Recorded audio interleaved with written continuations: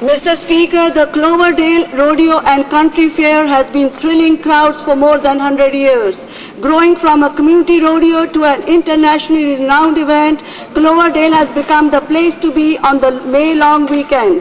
This year's Rodeo and Country Fair promises to be bigger and better than ever before, including live family entertainment, the Fraser Valley's largest midway, one of the best livestock, horticulture and agriculture exhibits in Western Canada, and of course, exciting rodeo competitions featuring some of North America's top cowboys.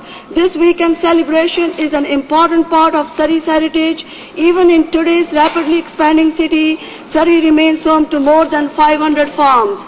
We have one of the country's richest growing areas, blessed with favorable soils, mild climate, and a long growing season. I invite everyone to come out and celebrate our agricultural past and present and enjoy one of British Columbia's great Victoria Day long weekend traditions. Member.